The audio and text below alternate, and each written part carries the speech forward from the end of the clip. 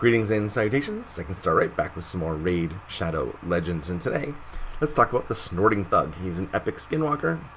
I had a subscriber who commented that he drew him from a shard event, was super disappointed at how completely useless he was, and I looked at the skill set and I was like, you know, this doesn't look like a bad skill set. This champion actually might be kind of good, but it's Raid, so the difference between something looking good and something performing like a hot pile of garbage can only be determined through testing. So that is what I have done today. Let's see how Snorting Thug works out, shall we? Okay, so his skill set, um, I do find compelling. I do think it's really interesting. His Wanton Mugging attacks the enemy twice, and each hit has a 20% chance of stealing a random buff. Okay, that's cool. I love buff steal. It's one of my favorite skills just because it's irritating, and I love being irritating.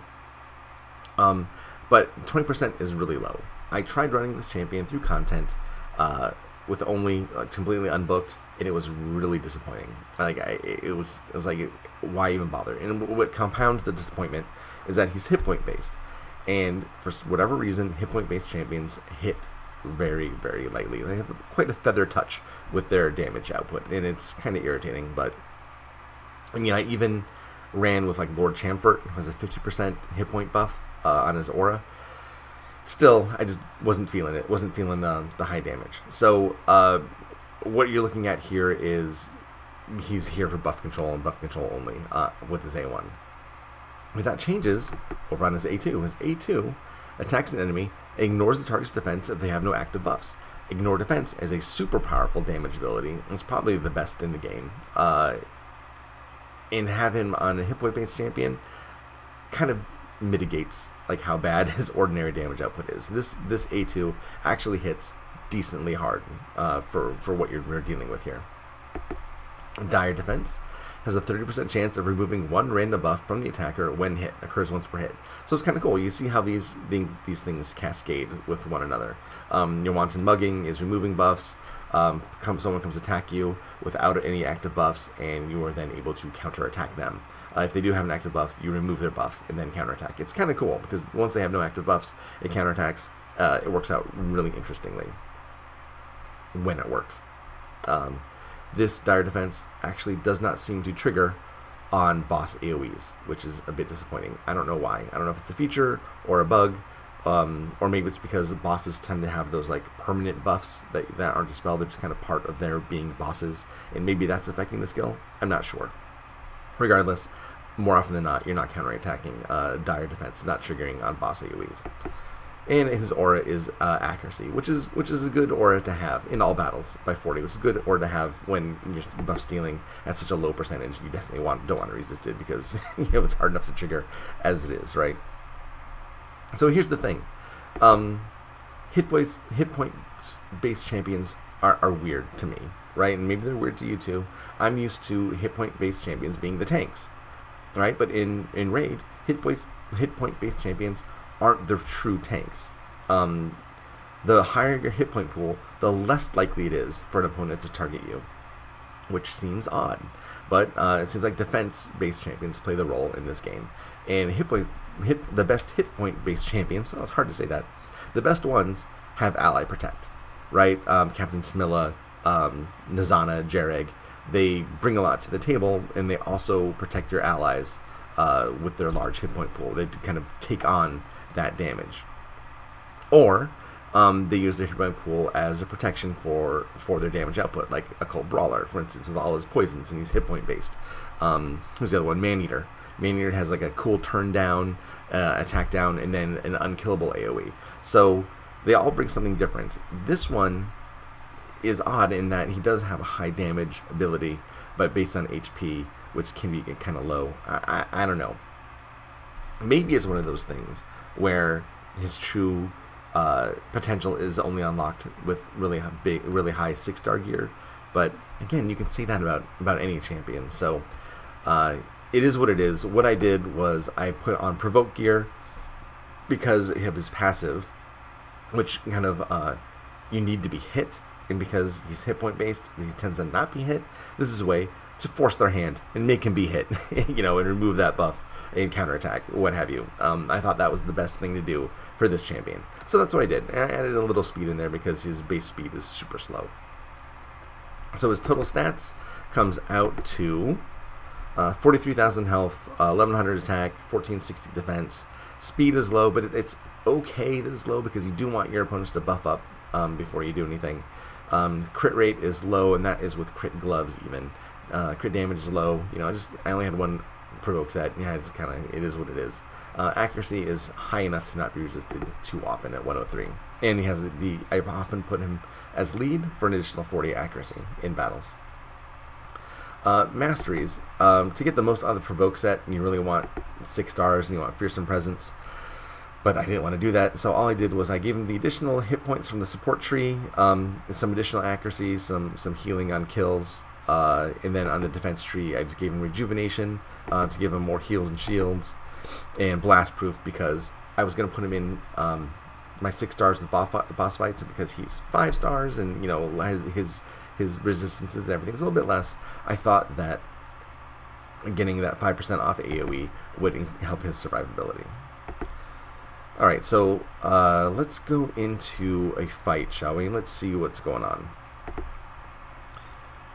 Uh, source. Okay, this is the Magic Keep, uh, where you think buff stealers should go to prove their chops, right? And he's going to do his thing.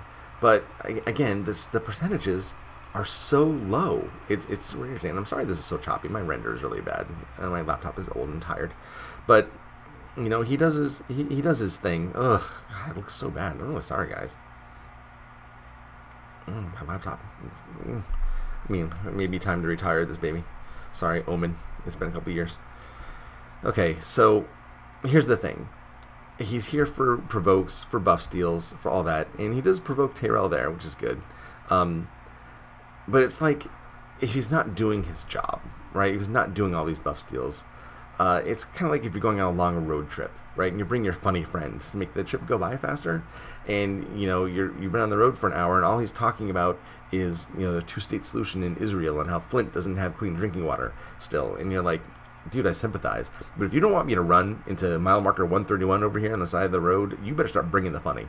And that's kind of how I feel about Snorting Thug. Is he's just not doesn't always perform, right? And his his damage output is low. Um, he, he's not stealing a shield. That's what we want, really. And, and, unfortunately, she does put up a lot of buffs. So even if he lands, eh, you know, his 30% chance or whatever it is I got it up to to steal buffs, um, he might not steal the one that I wanted. Right. So you know, it's just it's just one of those things where where yeah, he's he's not dying, so I guess that's good, but he's not always doing what he's supposed to do. And all I really want him to do is steal buffs, and he's just not doing it. And that's with you know a four book investment in his A1, and then another so six books. I put in six epic books. They're already hard enough to come by. Uh, I don't want to put in any more. I just I just don't. Right. So I don't feel that at level 60 here, with all these other level 60s, he's carrying his weight. See, we can pass this this uh, level without buff steal. Uh, I have champions that are strong enough, durable enough, that can do enough damage. Maybe not this exact team, but if I swapped um, uh, Snorting Thug out for Whisper, no problem. I'd be done, and I'd probably be done by now right? Uh, Whisper and Dracomorph combination, Whisper with any kind of, you know, defense down and weaken is amazing. And, you know, I, I'd be done. And I wouldn't need this Snorting Thug, right? So, you know, it just, again, he's just not, he's not fulfilling his promise uh, up to his ability. Now, there are runs, I've had runs where he's stolen everything and has been amazing. But there are fewer far between. More runs look like this, where he's just kind of you know, contributing a little bit. Uh, but he'd just like anyone. I could replace him with anyone, and this run would go exactly the same. All right, but context changes though. If we change it about so so this is all with end game stuff. But what about mid game? Right? What if you're in with a bunch of 50s and you're just trying to climb your way through the Magic Keep and, and other dungeon content? I've taken him in to Ice Golems and, and even Fire Knight. He's fine in Fire Knight with his multi-hit A2 as long as you have, you know, other champions to either with more counterattack or damage reflect or more multi-hits. You're going to be okay. Um, and he will contribute in those dungeons as well, even though Magic Keep is, is where you think buff dealers should go. Uh, he, works in Spirit Keep. In Spirit Keep, um, the Spirit Boss will put up the block debuffs, and you can't put in the heal down, and so you have to kind of get through those two rounds um, while, while it's impossible to lower her heal. But he can steal that, so that's nice too. Uh, he, he's functional even in the Spirit Keep. So here he is with 50s. So now he's performing completely differently. Uh, now I think he's doing adequate damage. Now he's he's doing things like 3500. That's not that's not bad, right? It's not a bad thing to do at level 50. It's pretty much comparable with what everyone else is doing. Chevalier is a bit underpowered right now because I stole his boots for another champion, so he's barefoot right now. Sorry, Chevalier. But his relentless uh, is still intact, so he's still bringing it. Um, so with level 50 uh, Chevalier, Sinesha, Snorting Thug, Gorgorab, and level 60 Zelata, but he's just there for shields and heals, so it doesn't really matter. He'd still perform the same duty at level 50 as he's doing at 60. Uh, now context is different. Now he's kind of doing what he's supposed to do. Uh, now when he steals uh, the attack down instead of stealing uh, the shield, it's okay because attack down when you're 50s uh, against the boss um, is a significant significant help. Maybe if you're super OP level level 60, you don't care um, about that. You're going to get through it anyway, just with perseverance. Uh, as you're muddling through the mid game and looking for scrapping for any advantage you can get, suddenly uh, Snorting Thug provides a whole bunch of uh, utility to the team, and it, kind of changes uh, his perception. So that's kind of how I, I view Snorting Thug. He's really good up to mid game. Uh, so if you get him early in the game, he's worth it. That, that ignore defense is going to help you a lot um, as you get through. Uh, but then he kind of hits a wall. He seems to hit a wall. I think his his percentage to steal buffs is too low, and once you once you accumulate a large library of champions, you're gonna have people that that make him irrelevant. Unfortunately, so as we get through the, this fight, he I think he's the number two DPS. I think behind Sinesha. Um, when we fight, I don't remember exactly, but he does he does his job. He contributes. This is level 13 as opposed to level 15, um, but that's okay for level 50s. Um, I'll, you know, he's fine uh, through mid game. He's fine. If you get him early, don't feel bad about building him up. He will help you a lot as you get through the game. But then once you start moving your champions to level 60, I don't think that he's going to be one that, that you're going to bring along with him. You're not going to want to invest your precious books uh, into him. He just takes too many. You probably want to put him on uh, an older champion that doesn't require a lot of books, like a seer, might help you a lot more in that regard. Um, because she only requires, I think, a grand total of nine books, I think, to, to maximize all her skills. Uh, so that's probably a more worthwhile investment than someone who steals buffs. Uh, so that's that's how I feel about Snorting Thug. He's he's okay up until mid game. He's fine. He's viable. He, he's a valuable contributor. Uh, for a while there, he just stole the attack, so that can be a game changer. If everyone's, you know, if I had a, like a different team and everyone's health was really low, that could have been a tide turner, you know. Uh, so like I said, mid game, he's great. Once you get into level 60 end game content, you're probably going to leave your snorting thug behind, and he's going to become a vault guardian, unfortunately.